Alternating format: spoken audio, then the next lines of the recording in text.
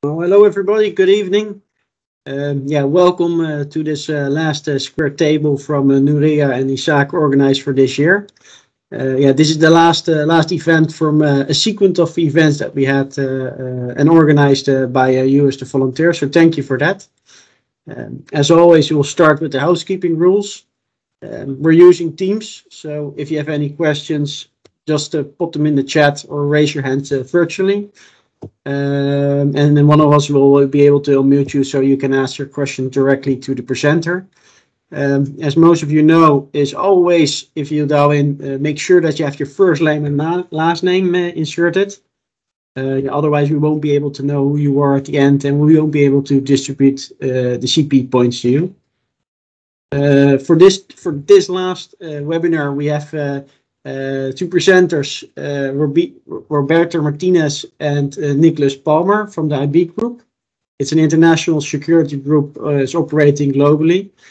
And for this webinar, they're presenting um, yeah, an, an, a true story for one of their cases that they had in which they did an, uh, an investigation for a large fraud security uh, uh, case within the Netherlands, and they were able to do research and have led to their exposure. So yeah, from my perspective, it's a very interesting story that we'll have for the last webinar. So uh, Nicholas and uh, uh, Roberto, I would like to give yeah the word to you. Yeah, excellent. Thank you so much, and uh, of course, Thank uh, thanks to the, the organizers and everyone here for for joining us. Um, so speaking now, uh, Nick Palmer. Um, I lead the global Intel outreach program within Group IB. I'm joined by uh, one of our head researchers within our European office in here in Amsterdam, uh, Roberto Martinez, with the beautiful mustache. Um, and uh, Roberto, if you want to fire up our slides, because I think you're going to be controlling them today, then we can yeah. get rolling. Can and uh, yeah, we can we can see them just fine uh, now. Um, right, to start slideshow. Cool. Yeah. So um, today, what we're we're going to cover is is exactly what was introduced. Um, really, part of the reason why Group IB launched a headquarters here in the region was to be close to um, some of the law enforcement agencies that we work very closely with, like the Dutch High Tech Crime Unit, um, and also with EC3 uh, Europol um, and to do fun investigative cases that are making an impact to the European region. And this one just so happened to be uh, Dutch actors um, targeting Dutch citizens. So it was a really fun investigation. And Roberto and I will cover uh, both the technical investigation into the, the phishing in infrastructure in different panels, um, and then I'll cover um, a little bit about the investigation in collaboration with law enforcement uh, as well. Um, so uh, I'd like to actually provide you a little bit of information about Group IB. Um, so uh, if you've not known anything about us, actually, uh, basically everybody within Group IB um, holds within their heart that they're cybercrime fighters. Um, we really believe that every action uh, conducted online, malicious um, or or not, is is typically initiated by a human. And um, as a company that started an incident response, um, you know, we hold this very near and dear to to to our hearts, and uh, really like to investigate and analyze cyber criminal activities. Um, so that's kind of where we started. Um, now um, the Netherlands has welcomed us uh, here in Amsterdam. So we opened up our office about 12 months ago now um, and have uh, both myself and Roberto um, are here in the Netherlands. We also have our, our global headquarters in Singapore um, and have done a lot of things, as you can see, since uh, 2003. But uh, among them, and, and very importantly, is collaboration with uh, with law enforcement. Um, we also have many different technologies as well. That's not really the point of today's conversation, but if any of you have interest in, you know, incident response, in threat hunting, in anti-fraud capabilities or threat intelligence capabilities, we have many different training courses and things like that that are free of charge. And of, of course, we have different solutions as well if if you run an organization and, and would like to know a little bit more about some of those. Um, in terms of collaborating with law enforcement, um, we've been working with uh, Europol EC3 for uh, geez, about six six years now, I think, almost almost seven. Um, so uh, we've been frequent visitors to Den Haag uh, previously before moving here, and uh, you can see two pictures um, uh, signing our MOU with Europol and also with Interpol. And you know, we couldn't ask for better partners within the law enforcement segment uh, because at the end of the day, we get to do fun stuff like this. Um, you know, here are a few examples of uh, actions that we've done with various law enforcement groups. Um, we did a really fun um, carding action together with Europol uh, last year and this year, uh, saving European citizens over 40 million euros um, and providing that data to law enforcement. And actually, we're going to talk about the bottom left-hand corner investigation today. So maybe with that, um, you know, Roberto, you can kind of take over and start the uh, initial uh, introduction to the story, and then I'll continue with the investigation into the actors. Yeah, thank you very much, uh, Nick. Uh, so let's uh, get into the this story that we're bringing uh, today. So 2020 was a, a, bad year in terms of increased cybercrime activity. Uh, with the start of the COVID-19 pandemic and the lockdowns all over the world, two scenarios were created. First, an increase in the number of vulnerable people, people that are more prone to fall for a scam uh, or a phishing attack. The second scenario was an increase in people that lost their source of income or that just couldn't find a job. So they started looking for an easy way to make money and fast. The Netherlands was not a, an exception to this, and the result was a rise in phishing attacks targeting Dutch and Belgian residents. So And fraudsters, uh, yeah. Go ahead, Roberto. Yeah, yeah no, you you you go, uh, Nick. Yes. Yeah, I was just going to say that you know fraudsters use many different types of, of vectors to reach potential victims. Um, you know, it can be email, text messages, um, you know, even even WhatsApp, etc. Um, in this specific case, um, they used uh, different messages with malicious links leading to phishing sites uh, that were used to steal personal information and also banking information. But the goal was always the same um, for the fraud family, and that's really to, you know, obtain victims' bank account details uh, for financial gain for themselves. Yeah, and helping to fuel this increase in phishing activity in the region, we find uh, this Dutch-speaking criminal group, the fraud family, as they call themselves. The fraud family not only rented and sold sophisticated, phishing frameworks to other cyber criminals, but they also went a step further. They developed their own framework and tailored it to the needs of the ever-growing community they had created. So to put things in context, phishing frameworks or live or dynamic kits, as they are also known, allow attackers with minimal skills to optimize the creation and design of phishing campaigns. We will see later on other advantages these kits have over more common and simple phishing kits over uh, yeah, the, the ones that are not uh, dynamic. Uh, this group chose uh, Telegram Messenger as their platform to advertise and distribute their products and services and to provide support to the clients. So discussions started to take place in multiple Telegram channels, both public and private, and the increased popularity led way to position the fraud family as a major enablers of cybercrime in the Netherlands and Belgium. So uh, let's take a look at a couple of methods attackers are following when using the fraud family's tools. Yeah, the first method uh, works like this. So we have an attacker that sends potential victims messages through email or SMS, and they're impersonating some popular Dutch brand. The recipient opens up the message containing a, a believable lure and clicks on, on a link, which leads them to a phishing site. This phishing site was previously crafted and customized using a management panel, which is part of the framework. And this panel is also used to interact with the victim through the phishing site in real time. So the fraudster uses the panel to request and obtain banking and personal information from the victim. And with this data in hand, the attacker can then access the victim's bank account. Here are some sample of uh, messages being sent to the victim. In this case, it's a local company connecting home seekers with a housing supply that is being impersonated. After accessing the link in the message, victims get presented with a phishing site that asks to pay for a small fee. Uh, here, the victim can select the bank, and then a site impersonating the selected bank is shown. Uh, in this uh, slide here, you can see all the lures being used, like government services, package delivery, or even uh, online uh, market marketplace, uh, marketplace. And speaking of this, the other method used by attackers to defraud victims is related to this. So let's uh, take a look with more detail. Yeah, here it is. In this method, a seller posts an item for sale on the marketplace uh, platform. A fraudster finds this ad and then contacts the seller showing interest in the item being sold. At this point, the fraudster moves the conversation to WhatsApp and asks the seller to verify themselves, just to prove they are not a scammer.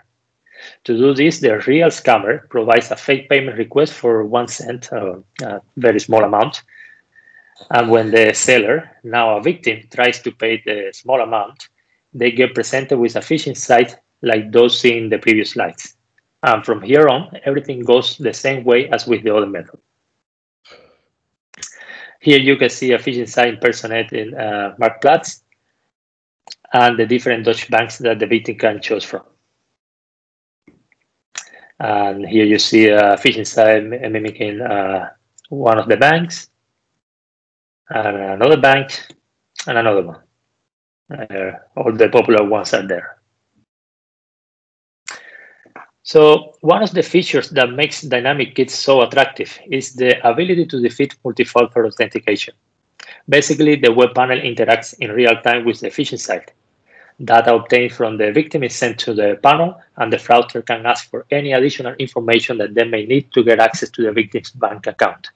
This includes personal information, multi-factor authentication tokens, or even home Wi-Fi, uh, Wi-Fi information.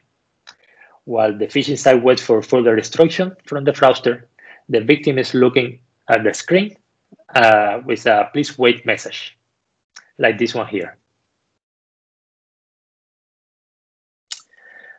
Now let's take a closer look at the different panels that were distributed by the fraud family. Early in 2020, the fraud family started distributing a modified version of a very popular framework and called it NL Multipanel. Then, by the end of the year, the group started advertising a new lightweight framework that was optimized for mobile use. Uh, it is known that many Dutch cybercriminals use their mobile devices to connect to web panels and to manage their phishing campaigns from there. This live kit was called Express. Then, in the spring of 2021, the gang started to promote a shiny new framework, one they were proud to call their own, and it was named Reliable to honor its developer and leader of the family. So let's now have a look at some monetary aspects of this enterprise. Here you see a price comparison between the three panels being used. In the case of uh, the monthly subscription, they offer full support, everything you need to get the campaigns going, say uh, domain, hosting, and infrastructure setup. But a more skilled fraudster could opt to just buy the framework and do everything themselves, saving some money this way. And now let's look at some numbers. Unfortunately, because of its code simplicity, it is uh, very difficult for us to create proper detection rules for the Express panels uh, based on the source code, so we cannot provide an accurate number for it. But in the case of NL multi-panel and reliable, you can see how much popular the reliable panel got. Okay, so let's uh, see more technical details about these panels. One of the features that makes dynamic kits so attractive is the ability to defeat uh, multi-factor authentication, uh, I already mentioned. So uh, basically, uh, yeah, it's uh, the victim is looking at the screen and the attacker is asking for any information they need to to get access to a bank account. And this uh, dynamic kits allows that. The first one, the NL multi-panel, is uh, based on on UAdmin, and uh, it was customized by the fraud family members to fit the the Dutch cybercrime scene. It uses a couple of plugins. One is Token, and the other one is OPanel, which allows uh, for this uh, live real-time interaction with the victim.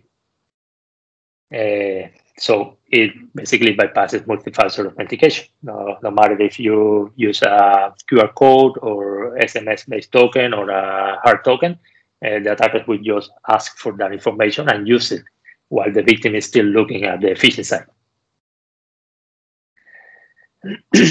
so after signing in into NL Multipanel, you get presented with this welcome screen that gives credits to some members of the family, including Reliable. And this is uh, the tokens plugin. Here, attackers can see somebody is currently on the phishing site and if victims, victims have provided any information. And if uh, you click on the O panel button that you see, well, it's a bit small, but there is a button there to the right of each entry that says O So clicking on that will present uh, a new window showing the, this plugin that looks like this. And here is where the fraudster can interact with the victim and you can kind of see to the to the right all the operation that can be performed, including asking for any additional information that, that may be needed to access the bank account. And of course, this operation can be fully customized by the panel's operator, so they can add uh, new uh, questions to ask to the victim. If, uh, for example, uh, the banks make some modification to the code, they can modify that here and keep getting the information they need. Let's jump into the Express panel now. Uh, this framework was not advertised for long, and although we still see it in use from time to time, it is not as popular as the other two. These images show the admin interface of the panel, and they were taken uh, directly from one of the public channels managed by the Fraud family. Uh, by the way, they show two different versions of the same panel. And this image here shows a phishing site targeting Belgian residents and although I said that it is difficult to create uh, detection rules based on the source code, you can still uh, detect them by a very particular uh, URL panel they used. I'm not sure if uh, you can see there in the presentation, but uh, there is a index exclamation mark TRXID. That is a dead giveaway that someone is using the Express framework. And now we go to the third framework, the Reliable panel. It was created in parallel to the Express panel by threat actor Reliable. And although it makes its public appearance in November of 2020, it kept a very low profile until the spring of 2021, when members of the Fraud family started advertising it heavily. It was uh, developed from scratch using a different scripting language than the one used to build NL multipanel. It is also faster than NL multipanel and all its variants, but equally flexible and customizable. And of course, it allows the operator to interact in real time with the victims. In fact, and, uh, uh, we, yeah. Mm, sorry, sorry, Roberto. I thought you were finished that slide. I just been asked to monitor the the chat function, and there's actually a question for you. So maybe you can advise on it. It says, "How yeah. difficult is it to be aware of this phishing site if you're lured into it, and can it be seen from the URL?" Uh, yes, yes, it can always be seen from the URL. So you will see uh, whatever domain the attackers are using, and uh, they always follow a, a, pattern in the URI that can uh, tell you that you are interacting with uh, this uh, any of these frameworks. Yeah, does that answer the question? Yep, and there's actually a second Thanks. question. So, what scripting language is used? So, we'll try to work all the questions you ah, guys have yes, into. Yes, yes, no problem. So, with NL multipanel, and they use uh, PHP, and with uh, I'm not exactly sure with uh, Express. I think also PHP, uh, but with uh, Reliable, they're using uh, um, yes Node, and then there is some PHP in the background.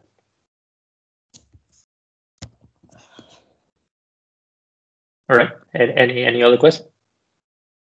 Seems like not at this time. Yeah. All right. Let's uh, continue then. So uh, one interesting thing they did with the reliable panel was that they removed many of the weaknesses that UAdmin had or has because it still hasn't. But more importantly, they crafted it for the Dutch and Belgian markets. So we actually saw them asking questions to their the member of the groups. So what do you prefer, this and this? How do you like it? What, what would you like to see? And then they build it based on that feedback from all the cyber criminals. So it was uh, very uh, customized. After signing in, uh, you see the dashboard of the panel. It shows some stats. Uh, to the left, you have a menu that is showing the different operations that can be performed. Uh, first in the menu is uh, request. Here the fraudsters can customize their campaigns. They can select the lure and a unique token value that will be needed to access the phishing site. This way, they make sure that only victims can access the site and they keep unwanted visitors like uh, security researchers away. They will need this value to, to actually access the, the site. Otherwise, uh, you get redirected to Google. Next in the menu is logs. Here the attackers see who is on the phishing site and if it is a bot or not. And do you see that value after the uh, URL? It's uh, it says there URL and there is uh, like X value there. That's the randomly generated token that I mentioned in this previous slide. Um, and by clicking on the blue uh, small button there, the attackers can open another window where they can interact with the victim through the phishing site. And this is what uh, you see. Uh, the red banner tells the attacker that the victim is still connected and the phishing site is waiting for further instructions. So uh, now that we know everything about the phishing operations and the tools being used, I would like to then invite Nick to share inner details about the fraud family and, and the investigation that was conducted. Cool.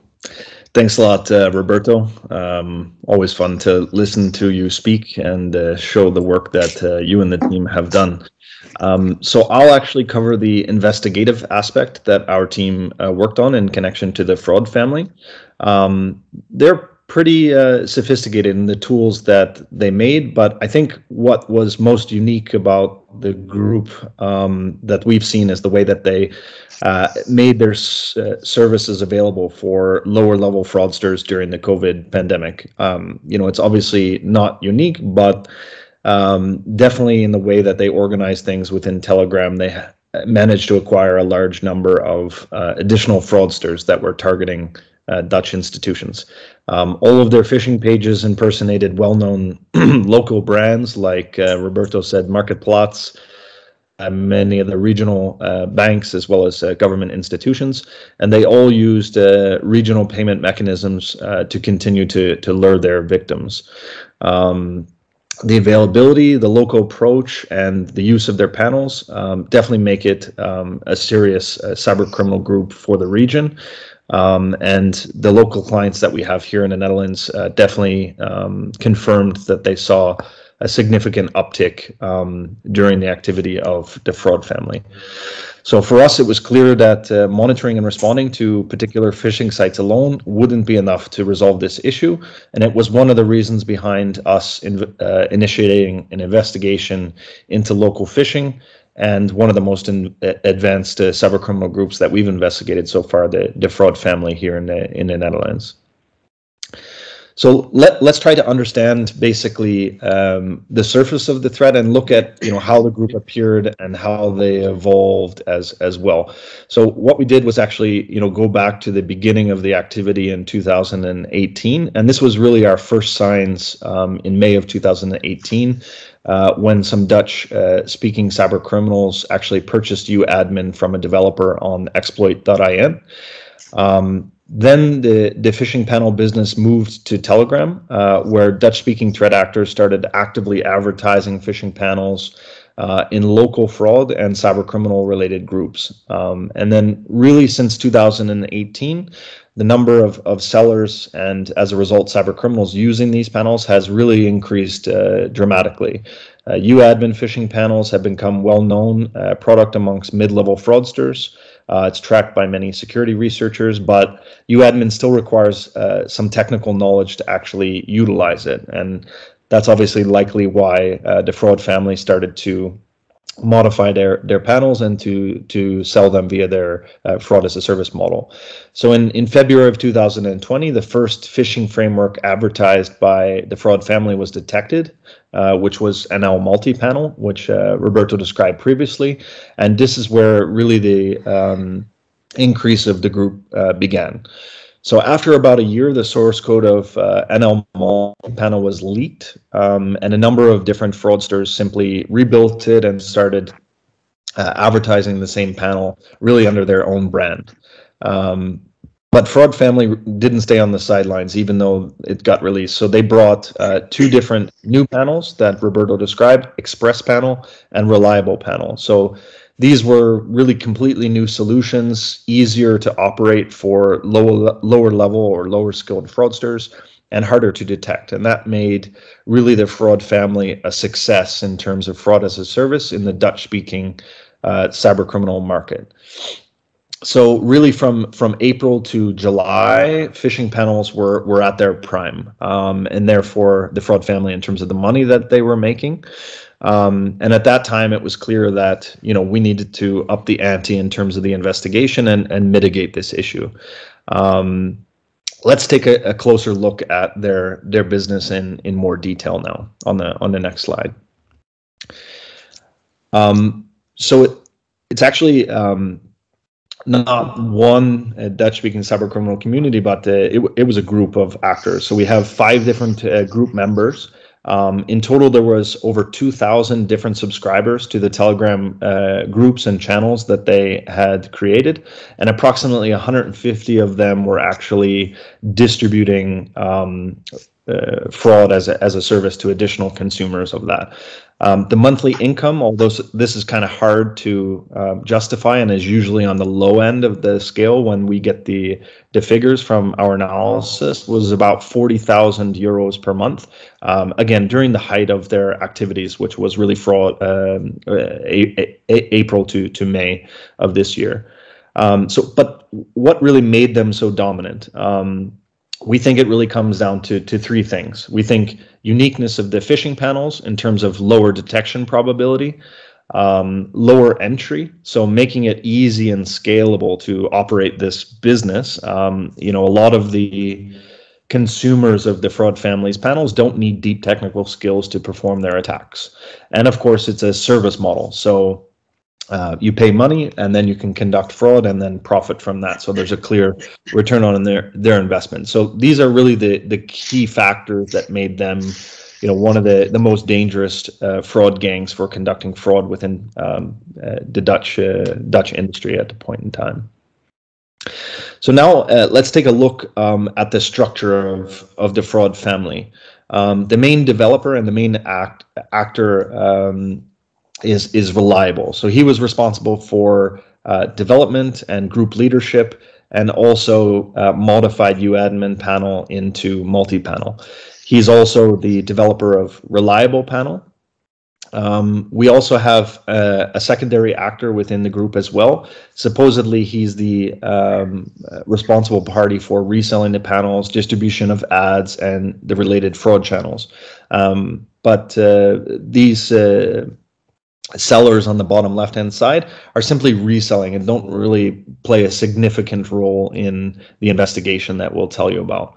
So the whole family was quite skilled. They worked hard to keep their family business, let's say, away from prying eyes. But uh, really, in the end, uh, we were successful in our investigation. So let's take a deeper dive into the investigations process.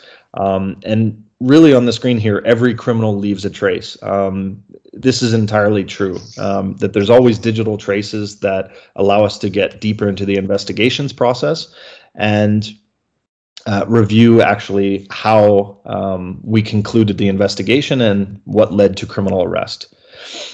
So to do that first, um, let's dive a little bit into the the start of our research, and that was in the phishing pages and the admin panels. Um, so initially, it was uadmin um, based framework, but we managed to observe the administration interface, and uh, using different techniques, we were able to get access to the administrative panels. Um, the interesting thing here is that uh, fraudsters commonly believe that they need to actually test their phishing pages on themselves uh, before sending them into the wild on using them on different victims. Um, and these guys were were no exception. Uh, they tested uh, their attempts, and it yielded quite uh, interesting results for us. Um, actually able to identify IP addresses and user device information as well. Um, uh, when we got access to the panel. So um, additionally, some of the panels being used by the threat actors um, contain some undeclared features. And uh, thanks to the development of the, the phishing kit developers, uh, they left behind these traces and we were able to observe the logs in the SSH sessions uh, which allowed us to to monitor the current connections and the admin part of the panels. And this was really a great source of information about the cyber criminals behind uh, the phishing pages and allowed our investigation to continue.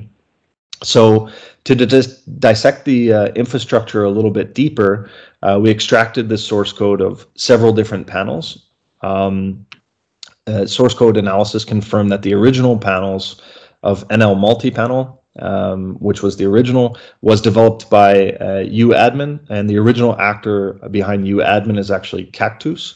Um, in addition to some of the artifacts from Cactus, we also uh, identified some Telegram accounts which were apparently left by the sellers, likely to promote or to get clout. And of course, we followed that trail into Telegram.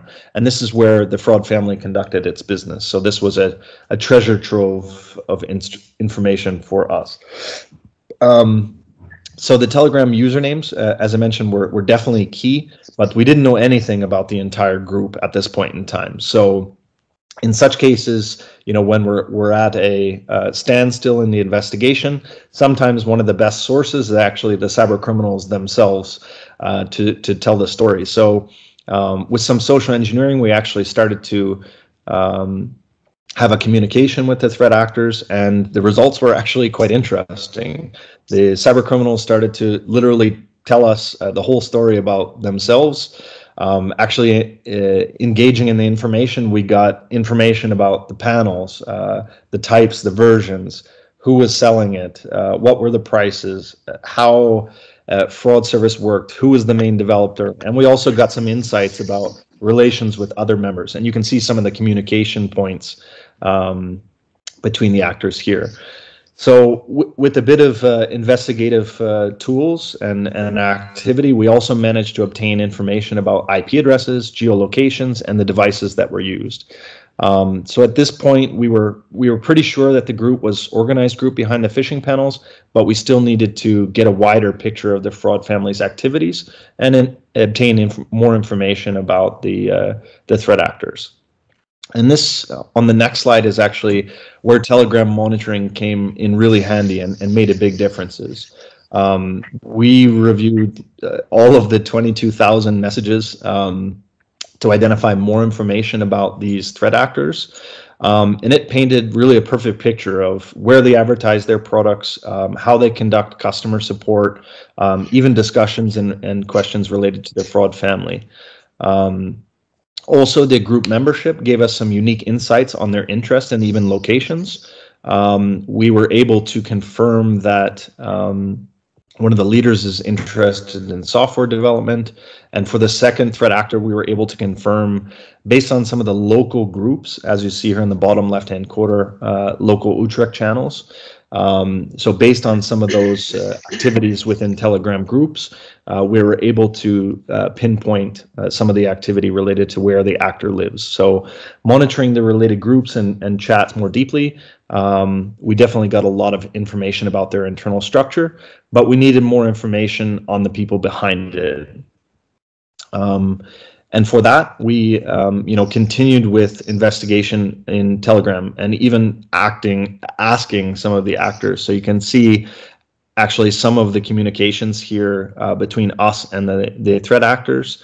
Um, uh, trying to get more information about their activities, their roles, their possible locations, even ages, and even in the case of the main de main developer, uh, they decided to share a meme which was also a, a useful a source of intelligence about his identity. Um, that wasn't a meme that we shared. That was that was him. I assure you. Um, so let let's uh, go back to some of the mistakes that the cyber criminals make. So um, sometimes we track threat actors for a very long time, but you know ultimately they do make mistakes in uh, information they leave on the internet.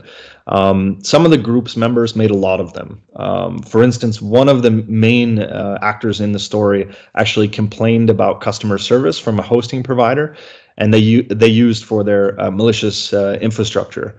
And actually, in one of the private group uh, Telegram, um, he's shared a screenshot of an email with an old ticket. And using this information, we were able to understand more about this ticket and obtain details about the infrastructure that they were actually utilizing within this hosting service.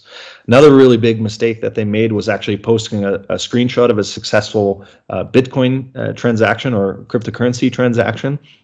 Um, as some of you may or may not know, it's not the best way anymore to illicitly hide financial flows because everything is is possible to investigate. So, you know, I know it sounds uh, simple, but finding those silly mistakes for our investigations team is sometimes identifying a needle in a haystack, but these were some of the data points that certainly made it worth it. And mistakes like this um, by cyber criminals provide small but really important pieces to the puzzle that we were trying to put together the complete picture uh, on this cyber criminal profile.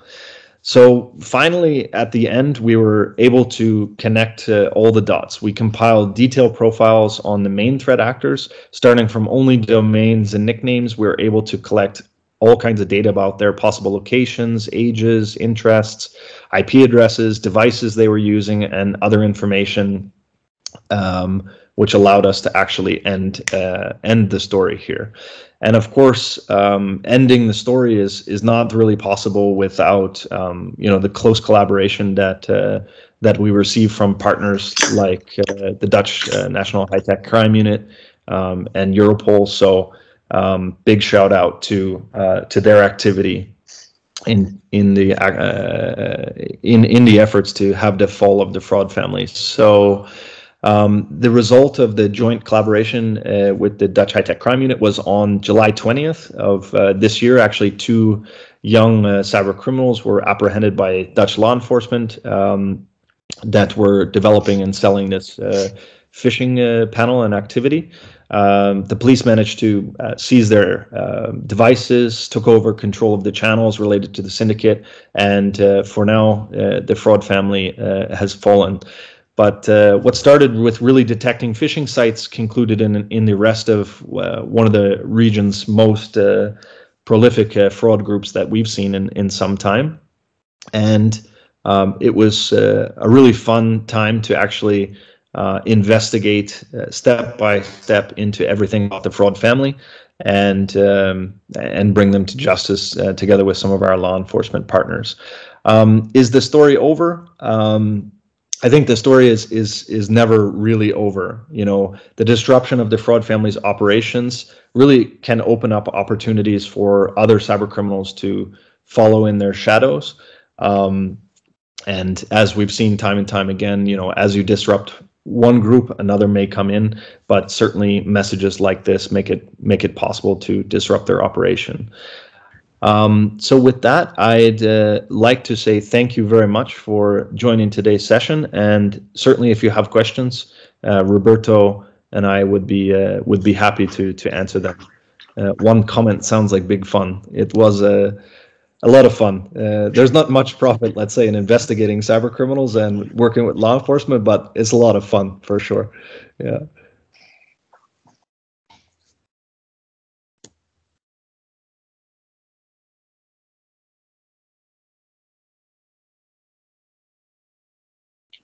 Yeah, I've uh, uh, uh, thank you for uh, for the presentation. Um, yeah, it was really great. Um, it feels like you're watching like uh, uh, an, an, example that you have like in in the 90s. You had these crime crime investigation programs on the television, and they, they gave a good presentation about how to how did they catch the murderer or the that the, the, the person did the crime.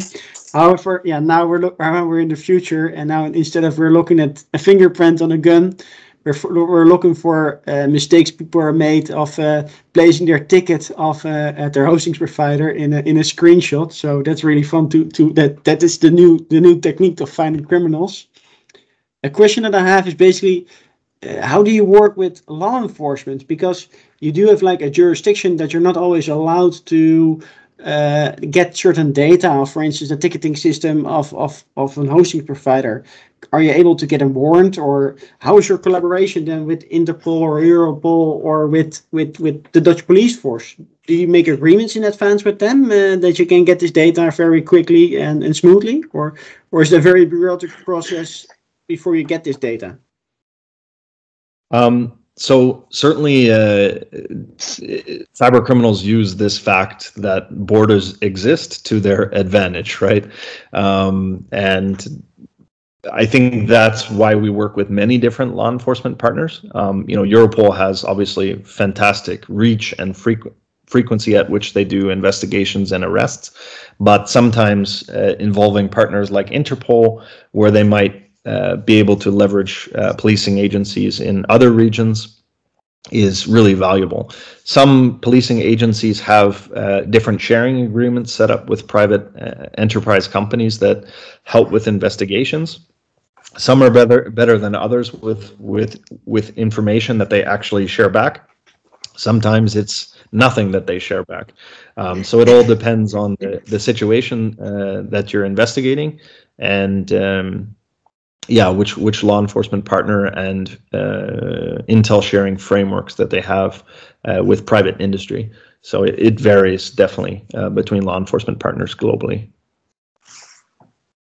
Yes, thank you. Perhaps Rinus, uh, I also noted your question. Perhaps you wanted to ask your question directly.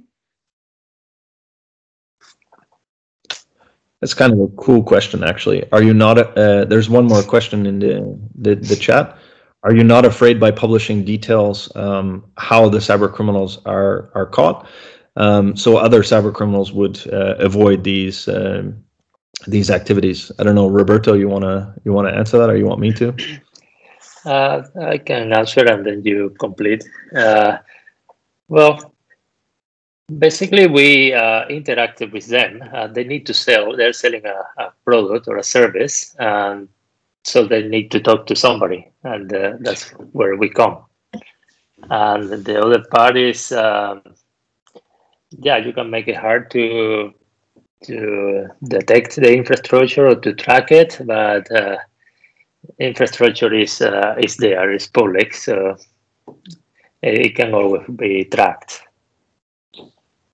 Yeah, and I think maybe I read the the question differently, so I'll read it how I'll answer it how I read the question. Mm-hmm. Um, I like uh, immediately I started to think about Cobalt. So Cobalt, if you remember, was a um, not Cobalt Strike, but Cobalt, the uh, financially motivated threat actor group.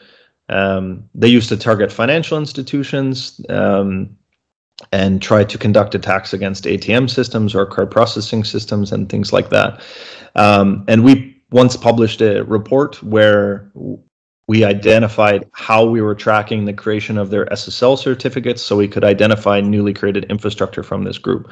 And of course they they changed their their uh, their techniques and we lost visibility. But uh, I think it's a balance between not sharing anything and sharing and and sharing something.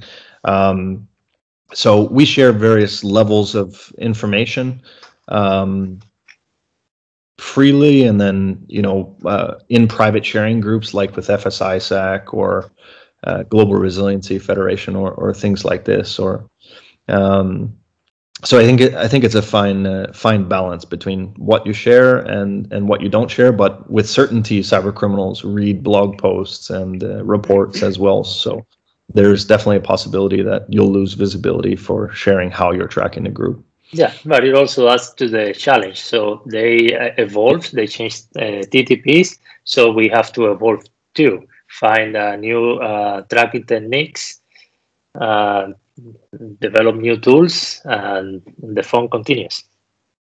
Absolutely. Yeah, never ending cat and mouse game for sure. Um, there's another cool question about the tools that we use for investigation.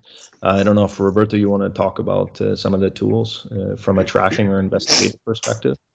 Uh, yes, I use a web browser, uh, Telegram, and uh, we have some very cool and unique in-house tools that many of them I, I, don't even know how they work, but they work very well. Uh, but yes, they use a lot of uh, uh passive DNS information to, to track uh, domain, domain names and infrastructure. And we also leverage uh, some of the tools that are out there, like Virus VirusTotal, URL Scan, very useful tools because everybody's using them and uh, we collect information from the, from those tools and analyze it. So, yeah. Definitely.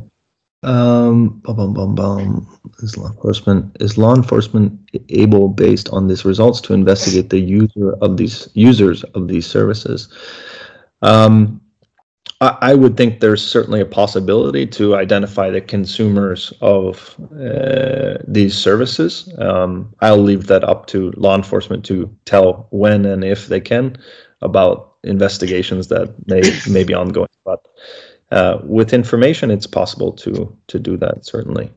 Yeah. So um, actually, when uh, if you have the actor that is uh, selling the service, uh, you can communicate with them but you you can usually communicate with the with the actors that are buying those services but those are the ones you can actually track because those are the ones using the these phishing sites and frameworks so yeah, yeah and there's one more question here, actually. I'm going to throw it at you, Roberto, because it's a tricky one.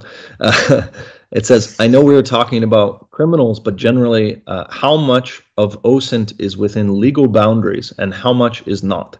Basically, if you found a suspect and investigated him, her, them, and then they turned out to be innocent, the data collected is somehow under GDPR or privacy, even if from a moral perspective this is the reason to ask this question.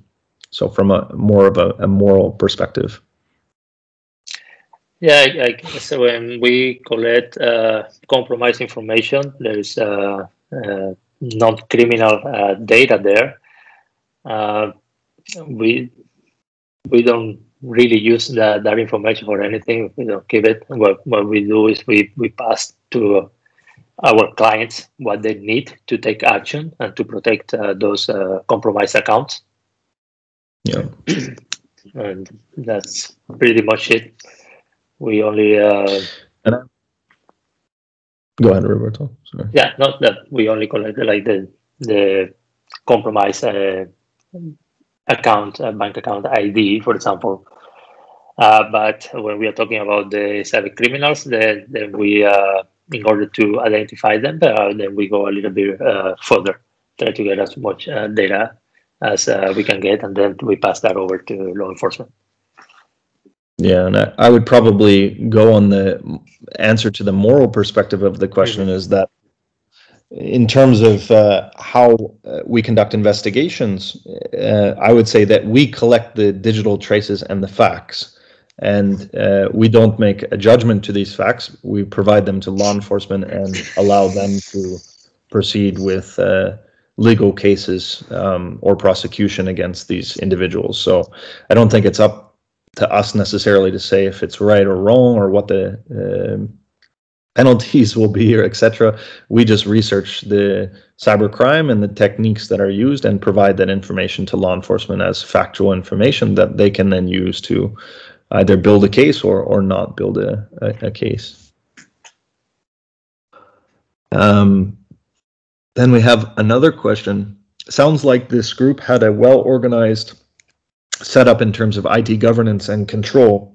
Would be interesting to use their platform or similar and their ideas actively for a pen test like activities and raising awareness. Uh, awareness. Is that something that you do?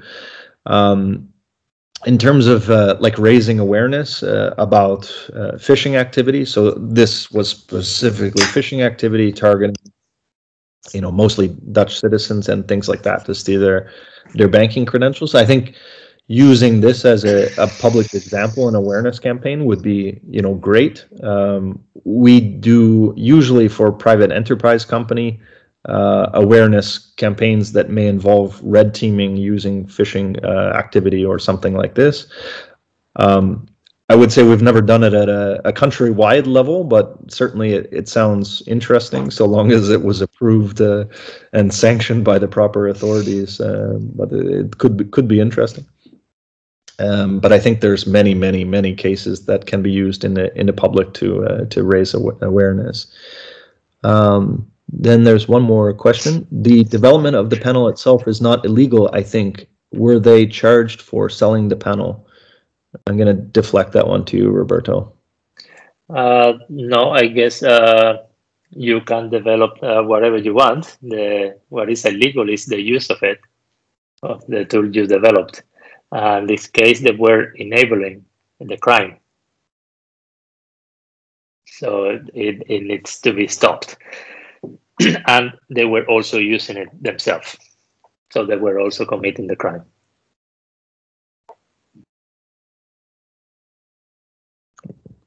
someone's going to have to watch Rutger on his development, I think.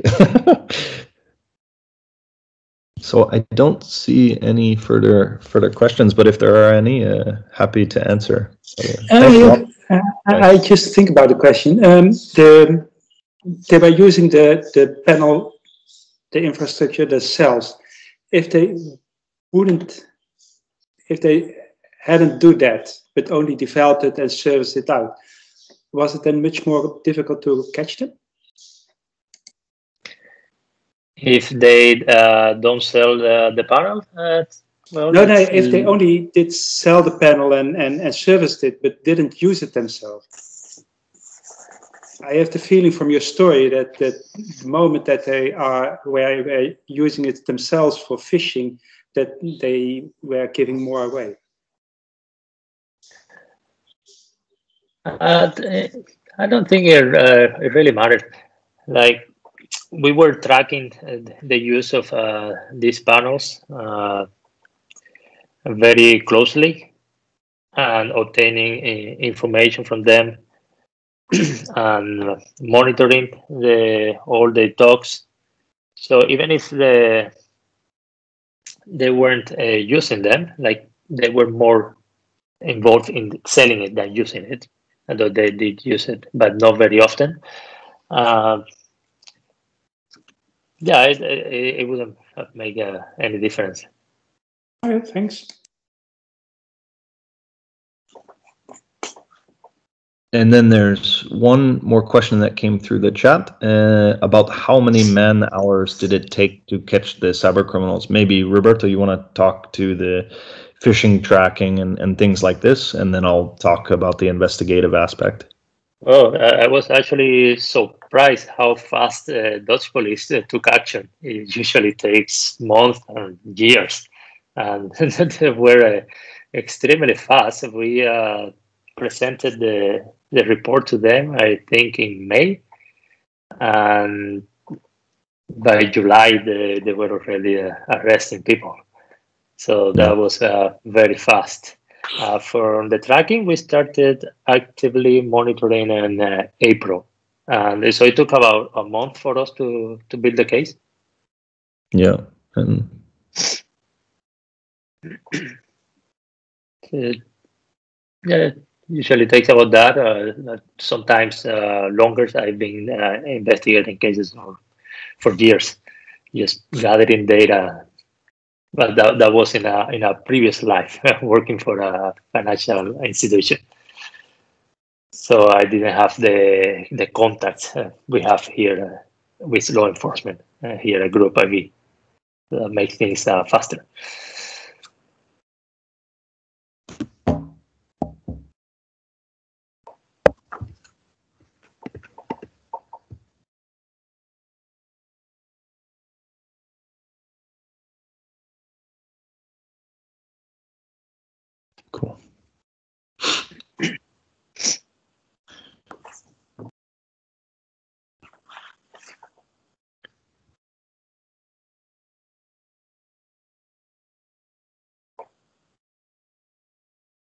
Yeah, the question is in Dutch, so it's a bit difficult for you, Niklas, but.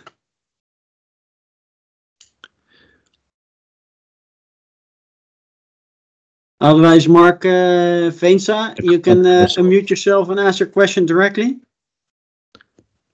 I think it's a, a new article of, of legal documentation. I'm sorry, says- I, um, uh, I wasn't actually raising the question. I was uh, contributing to the uh, Rutgers remark that, uh, according to Arnoud Engelfriet, uh, who is a Dutch uh, lawyer um, focused on IT, he posted a topic today on his blog about the PGP phones, and that was basically the same question whether or not uh, this could be considered legal or, or not, because by itself PGP or PGG phones are not illegal. But uh, as Gilbert mentions, the intent does really matter in this case. And Arnold's conclusion was that even though by itself this might not be illegal, it can be illegal because it's aimed at criminal use. So and that's the article in Dutch is what the article uh, Arnold was referring to why it would be considered illegal. So I was just contributing, not not not, adding a question. Thank you all. Thank you very much You're for the information.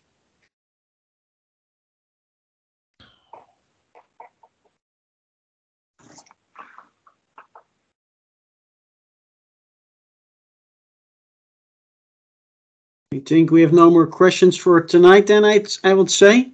Uh, and then, uh, yeah, uh, Nicolas and Roberto, yeah, thanks, uh, thank you that you're willing to speak here uh, uh, for, for this audience, for NOREA and ISACA.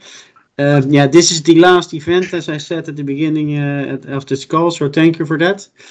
Um, we will, for the, everybody else, we will have a, a, a minor stop. So uh, for the for the next event, we'll be in blocking out the agenda on the 19th of January, also from uh, IB Group. So uh, that will be your colleague uh, Alex uh, uh, Alex Wells, and there will be a presentation regarding yeah calculation of the return on investment on yeah cybersecurity investments.